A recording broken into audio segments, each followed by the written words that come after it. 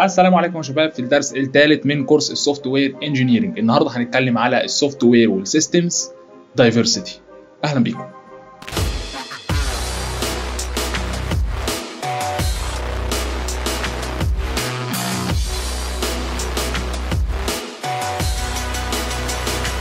He has a beautiful mind that can create complex algorithms السلام عليكم يا شباب يا رب تكونوا بخير. معاكم امين محمد في حلقة جديدة من خمسة برمجة. النهارده عندنا الدرس الثالث من كورس ال software engineering والنهاردة بالترتيب كده زي ما إحنا ماشيين في الكتاب هنتكلم على ال software diversity وال system diversity يعني إيه هي التقسيمات بتاعه ال systems أو التصنيفات بتاعه أي system أو أي application انت هتتعامل معاه؟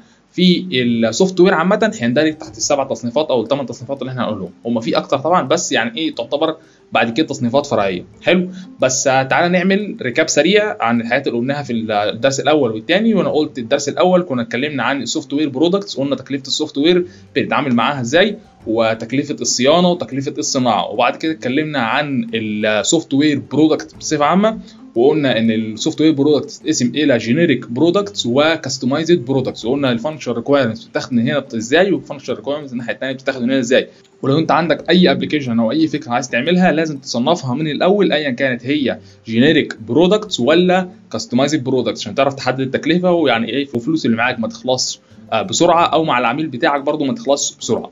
طيب النهارده بقى ندخل على ال software diversity بس يعني يا ريت قبل ما نبدأ تعمل like الفيديو subscribe للقناة وتفعل جرس التنبيهات وعايزك تكتب لي حاجة مهمة جدا في ال comment ات وهي بعد ما أخلص السلسلة دي عايزين سلاسل إيه ثانية يعني دلوقتي software engineering زي ما قلت هخلصها 15 أو 20 يوم بالظبط. بعد كده ندخل في سلسلة إيه؟ يا ريت تكتبوا لي تحت في ال comment ات. ومن غير كلام كتير يلا ندخل على ال diversity طيب حلو قوي. دلوقتي إحنا عندنا أول system معانا وأول تصنيف معانا هو ال stand-alone application يعني إيه stand-alone application من اسمها كده هو ال application اللي بيشتغل لوحده يعتبر طرف واحد. يعني إيه برضه؟ عارف الكشاف اللي في التليفون بتاعك؟ برنامج الكشاف يعتبر stand-alone application من أول الكشاف لحد ال Photoshop اللي في الكمبيوتر بتاعك يعتبر stand-alone application أي application أنت بس اللي بتتعامل معاه. أنت الطرف الوحيد اللي بتتعامل مع ال application ده. يعني مفيش interaction ما بين طرفين. حلو. وال application هو بيوصل بيناتكم. ده اللي هنعرفه في التصنيف اللي جاي. ولكن التصنيف ده أي حاجة تعتبر stand-alone application بكل بساطة يعرف إن هو أنت الطرف الواحد اللي فيه. Photoshop Excel البرنامج الكشاف أي لعبة برضه بتلعبها على التليفون تعتبر stand-alone application تندرج تحت تصنيف ثاني اللي هو هو ال system الترفيهي. stand-alone application تعتبر نسبة الأخطاء اللي فيها ضعيفة جدا ما بيحصلش فيها أخطاء كتير ده نظرا لقلة الأطراف المتعاملة فيها. والحاجة الثانية المتميزة فيها وهي فكرة الصناعة ذات نفسها مش لازم نشتغل waterfall يعني مش لازم ناخد وقت طويل جدا في التطوير ممكن نشتغل agile ونطلع المنتج بتاعنا بسرعة لأن الأخطاء حتى لو ظهرت عشان كده حتى الأخطاء لو ظهرت فهي تكلفة تصليح الأخطاء دي بتبقى قليلة. التصنيف الثاني اللي معانا وهو interactive transaction-based application دي بكل بساطة أي application فيه أكتر من طرف. يعتبر interactive transaction يعني بكل بساطة في تبادل معلومات ما بين طرفين حيين أنا بعمل request وبستنى ال response بس ال response ده ما بيجيش من ال system بس لأ بيجي من شخص تاني. طب عايزين أمثلة عن ال interactive transaction application كل حاجة بقى. امازون اوبر اطلب الفيسبوك بكل تأكيد يندرج تحت ال interactive transaction. تمام؟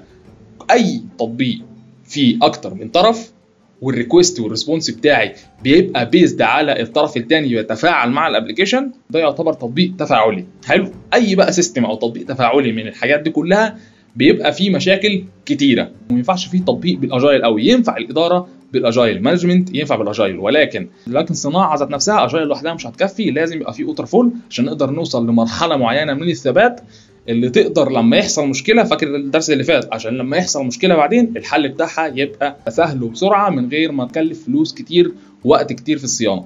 آه طبعا آه فلوس ووقت لأ هي بكل بساطه نكلف وقت كتير في الصيانة الوقت معناه فلوس. حلو. يبقى ده التطبيقات التفاعلية النوع الثاني من أنواع ال systems يبقى أول حاجة stand-alone ثاني حاجة ال interactive transaction-based application النوع الثالث بقى بكل بساطة هو ال embedded control system أي system أو أي application بيبقى فيه بيشتغل على آلة يعني مثلا الثلاجة الذكية اللي عندك في البيت أو السخان أو العربية بتاعتك دي كلها يعتبر embedded system عايزك تجري حالا. بس بعد بعد فيديو ما تروحش دلوقتي. يعني بعد ما تخلص الفيديو ده عايزك تروح تشوف حلقة ال IoT حلقة ال IoT اللي هو Internet of Things اتكلمت فيها عن موضوع ال embedded system ده بتفصيل أفضل وبطريقة أفضل شوية. وهنا هندخل فرق زيادة بسيط كده. وما يهمنيش قوي الموديل بتاع التطوير ايا كان agile ولا waterfall وما يهمنيش قوي الموديل بتاع الصيانة في اللحظة دي. ولكن هيدخل معانا عامل جديد هو ال hardware لازم انت تعمل compatible ما بين ال software اللي هتشغله وال hardware هتشتغل بأنهي technology هتشتغل بأنهي language تمام؟ يبقى دلوقتي دخل معانا ال hardware في الحسابات. لما انت كنت شغال في ال stand-alone application أو ال interactive transaction-based application ما كانش موضوع ال hardware ده مؤثر معانا قوي. يعني أنا بعمل التطبيق ما يهمنيش اشتغل عن انهي جهاز بالظبط. بس في ال embedded control system لازم أبقى عامل. ال software اللي أنا هعمله ده هيشتغل على ثلاجه فقط. يعني ال system بتاع الثلاجه ما ينفعش يشتغل على سخان أو ال system بتاع العربية ما ينفعش يشتغل على اللي هي ال scooter ال smart ده اللي أنا نفسي أجيبه بس يعني ما بيشتغلش هنا في مصر. المهم هي دي الفكرة. الثالث معانا وهو ال embedded control system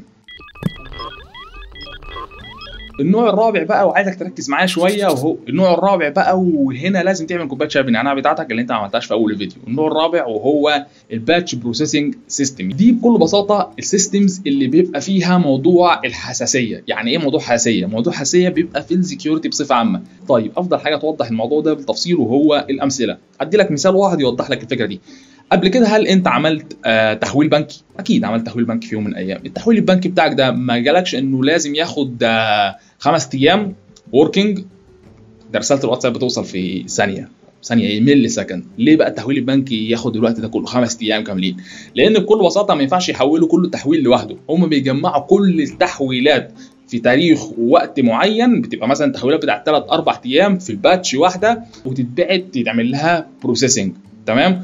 وبعد كده تروح للبنك تاني طبعا عشان عشان التحويل بتاعك ده بيسمع في أكتر من مكان في نفس الوقت. يعني بيسمع في مثلا البنك المركزي بتاع الدولة نفسها بيسمع فيه مش عارف فين عشان لو في نسب ضرائب المفروض تتخصم وكل الكلام ده. الكلام ده كله ما ينفعش يتعمل لكل تحويل لوحده. لازم تتجمع كل التحويلات دي مثلا في الساعة 12 بيبقى عندهم محددين وقت معين. طبعا الوقت ده بيبقى سيك... بيبقى classified جدا سري جدا عشان هجمات الاختراق والكلام ده كله. بيبقى بيتم معالجة كل التحويلات اللي حصلت في اليوم ده. حلو. بيتم معالجتها ككتلة واحدة batch. batch واحدة batch processing system. بيتم معاملاتها كلها مرة واحدة. وبعد كده بيرجع تقول لك والله أنا خلاص عملت التحويل بتاعك يلا قول ابعت رسائل للناس وقول لهم التحويلات بتاعتكم وصلت. ال system دي بتبقى بتتعامل مع الحاجات اللي فيها حساسية كبيرة. ايا كان بقى من حجوزات الطيران اللي بيقول لك أنا أكد لك على الحجز ثاني يوم أو التحويلات البنكية اللي بيقول لك التحويل هياخد خمس أيام في التحويل. ال batch processing systems بالرغم من إنها آه كفكرة ممكن ما تبقاش فيها التعقيد الكبير ولكن هي يعني ال system ذات نفسه شغال ب firewalls كتيرة جدا جدا. حلو؟ يعني قواعد صارمة ما ينفعش تتكسر ما ينفعش نقعد نطور فيها ونفتكس حاجات ومش عارف إيه. الحاجة الوحيدة اللي ممكن تحاول عمل التحويل سريع والكلام ده كله هو الكريبتو. تمام؟ الكريبتو فعلا أنت ممكن تحول ب millisecond كده فعلا زي رسالة الواتساب. بالظبط عشان هي أساسا classified already وبيعمل لها آه هي فيها سرية كبيرة. أما طالما فلوس عادية لازم batch processing system حلو؟ آه الموضوع ده فيه تفصيل أكتر لو أنتوا عايزين نتكلم عليه قولوا لي في ال comment ات وممكن نعمل له حلقة بالتفصيل الممل اللي هو ال system بتاع البنوك. النوع الخامس اللي معانا وهو entertainment systems الأنظمة الترفيهية. يا رب أبقى قلت كلمة entertainment دي صح. المهم ينفع تبقى stand alone application وينفع تبقى interactive transaction based application وينفع تبقى embedded system application stand alone application الالعاب اللي أنت بتلعبها لوحدك من أول لعبة السلم والتعبان. ال interactive interactive transaction application بكل بساطة زي اليوتيوب. تخيل يعتبر برضه نظام ترفيهي اليوتيوب ده. تمام؟ أو مثلا كل الألعاب الأونلاين تعتبر system ترفيهي. الحاجات ال embedded زي الألعاب اللي أنت بتروح بقى تركب في اللعبة ذات نفسها مثلا في المول أو بتاع اللي هي الألعاب بتبقى بضرب النار ومش عارف إيه وحاجات بالدراعات كده والكلام ده كله. ده يعتبر برضه embedded entertainment system وتعتبر برضه embedded control system حلو؟ ليه بقى إحنا دلوقتي دمجنا تصنيفين مع بعض؟ بكل بساطة لأن ال systems دي السرعة فيها مهمة جدا على عكس ال batch processing system كان مش مهم السرعة تقعد 9 أيام في التحويل ولكن سرية. هنا السريه ملهاش قيمة قوي تقريبا يعني.